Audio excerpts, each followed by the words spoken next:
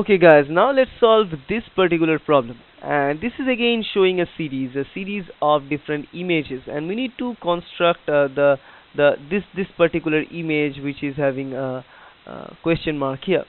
So and these are the options. So don't look at this bottom, these are the options but this is the actual series that we are going to build.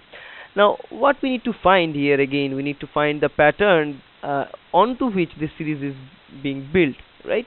So let's look at it. So the pattern here as you can see a small circles in all this case in all this pattern. The, the usual pattern is two small things and one large things. And those things are of same type. So this is circle this is uh, say triangle this is square. So everything is a kind of same thing. So three of the same thing. Two small circles one large circle two small triangles. As you can see you can see the pattern right? One large triangle.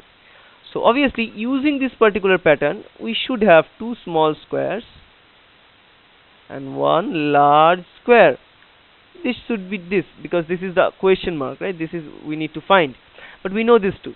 And not only that but also among those two circles and two two uh, triangles one should be shaded like this so the first one right handed side is shaded. The second one left handed side is shaded. So obviously in the in this one it should be right handed side shaded right?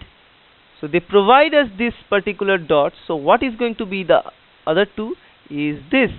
So they provide us this part. So the other two section will be this.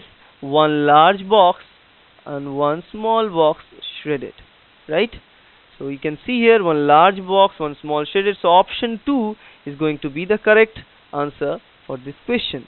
So let me delete this one. So this is going to be the correct answer right?